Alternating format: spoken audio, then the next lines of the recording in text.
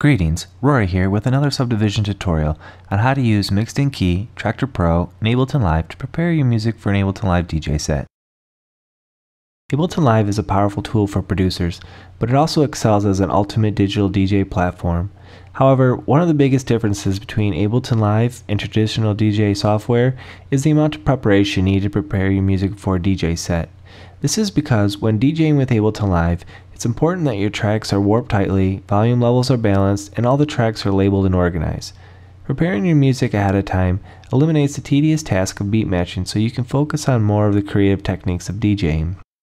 Throughout this video, we will explore harmonic mixing using mixed-in key, prepare an auto gain list using Traktor Pro to detect volume differences between tracks, and then warp the tracks using Ableton's Warp Engine. Let's begin this process by first looking at a piece of software called Mixed-in Key. Whether you are an aspiring or experienced DJ, Mixed-in Key is an essential add-on to your DJ setup. Mixed-in Key analyzes the harmonies and melodies of your music files and then writes the musical key and BPM into your track's ID3 tags. During your DJ set, you can use this information to choose tracks that are harmonically compatible with each other. Harmonic mixing involves mixing tracks that are in the same musical key or keys that complement each other. This also eliminates key clashes and prevents musical train wrecks. If a mix is in key, it means that the tracks you are mixing share the same set of notes, which gives the effect that the two tracks are singing together. For example, if you play two tracks that are in the key of A minor, then both tracks would play only the white notes on a piano, because the key of A minor consists of only the white notes. These notes from both tracks will complement each other when overlapped and will play together in harmony. Let's begin by adding a group of tracks so that Mixed-in Key can analyze them and write the key and BPM into the track's ID3 tags. For this demonstration, I will choose four tracks from SubDivizion artists Billy Jack and Sporadic and then click Analyze. Next to the track name, you can see Mixed-in Key has detected the key for each track. To help DJs learn harmonic mixing, Mixed-in Key provides a Camelot wheel with a visual representation of which keys are compatible with each other. Each key on the wheel is assigned a key code number from 1 to 12. Many professional DJs move around the Camelot wheel with every mix. For example, when a track is playing, select a compatible track with a key code next to your current track's key code.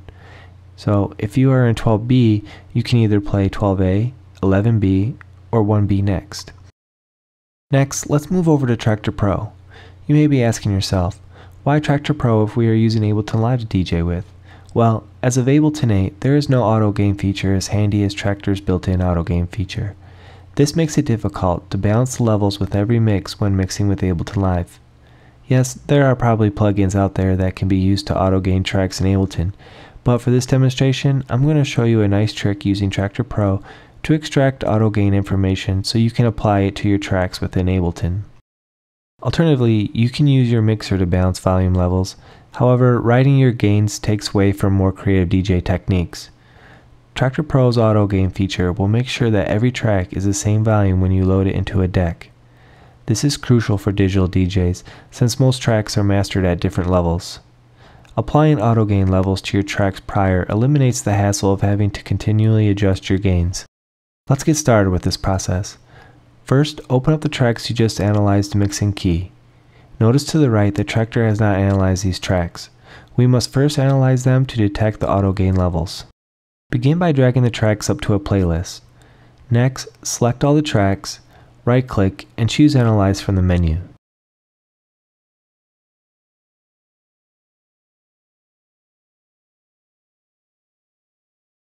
Traktor will now analyze the tracks and detect the gain values.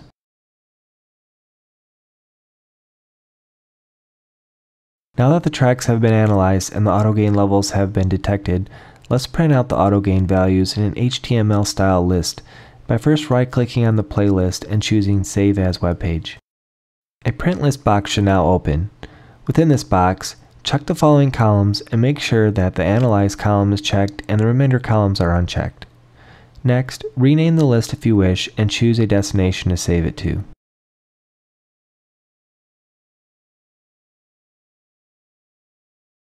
Click OK and your web browser will open with a list of information about your tracks. You can see the column on the left has track titles, and the column on the right tells you how many decibels Traktor will adjust each track so that they are equal in volume. Now, let's open Ableton and drop the tracks into an audio track.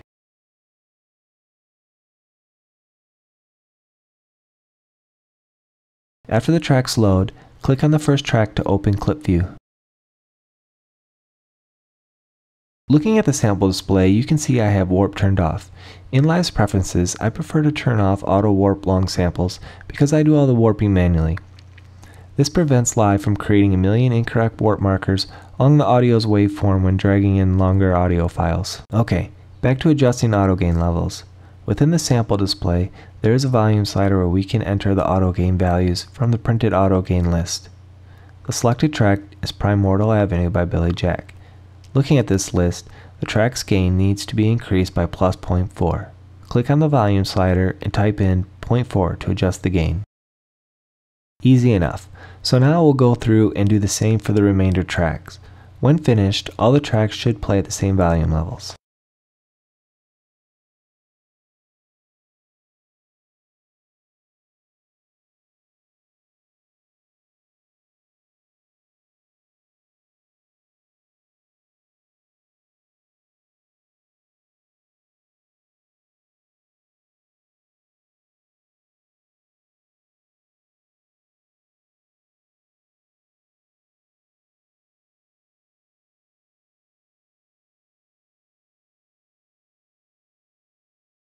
Great, all the tracks should play at the same volume levels. Alright, the last step in this process is to begin warping our track. But first, let's talk about what warping is. When you load an audio file into Ableton Live, you have the option to warp or not warp the audio. When warping is turned off, Ableton will play the audio file in its natural state. When beat matching, this can cause some trouble because of timing issues.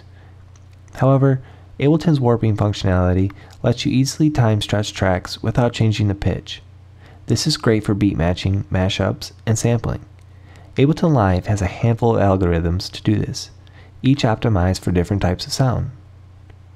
To demonstrate this further, let's begin warping the first track.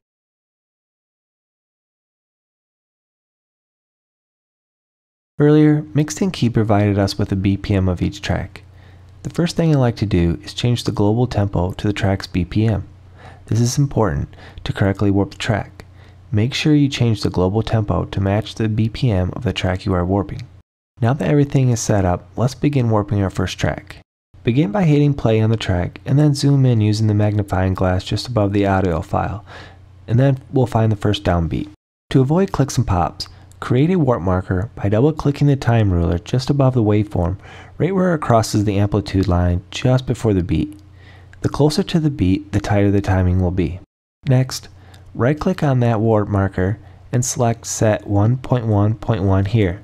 Then right click the warp marker again and select warp from here straight. This warping method will work since the track has a constant tempo throughout. When working with electronic music, Ableton generally gets the warping right at this point. Let's check it to be certain by first turning on the metronome to hear that the track is warped correctly throughout. Next, zoom in on different areas of the track to see if the downbeats are lined up to the grid. I usually like to zoom in near the end of the track to check that the beats are still lined up. If not, just create a new warp marker like before and drag it to where the beat should be.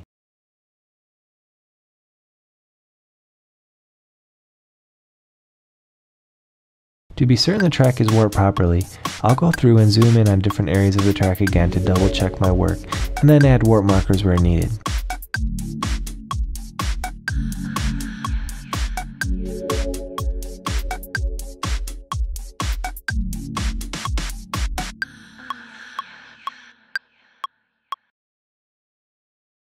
This track looks good, but before moving on, don't forget to hit save in the sample display. This is important because it saves all the warping, gain adjustments, and clip information to the track's associated ALS file. I'll demonstrate this process again by quickly going through and warping the next track without stopping to explain what I'm doing this time.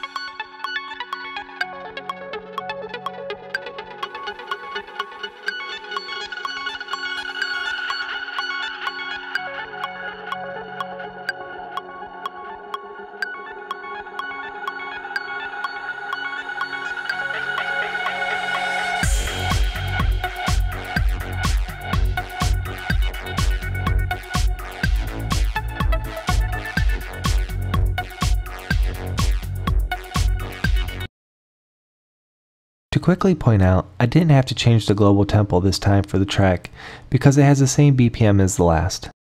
Also, earlier I forgot to select the warp mode for the first track, so I'll go back and choose Complex Pro from the warp modes menu and then click save again. Live offers six different warp modes, each designed for different kinds of sounds. Looking back over the sample display, let's select the warp mode for the track. I generally choose Complex Pro from the Warp Modes menu. For playing back full-length songs, the Complex Pro and Repitch Warp modes are the best options. Repitch mode works in the same way as the turntable's pitch control, by pitching tracks up or down as the playback speed is changed. If you want to change the tempo without affecting the pitch, then Complex Pro is the best option. Beats mode is best used with strong rhythmic sounds like drums, while Tones mode is recommended for monophonic sources like bass or vocals.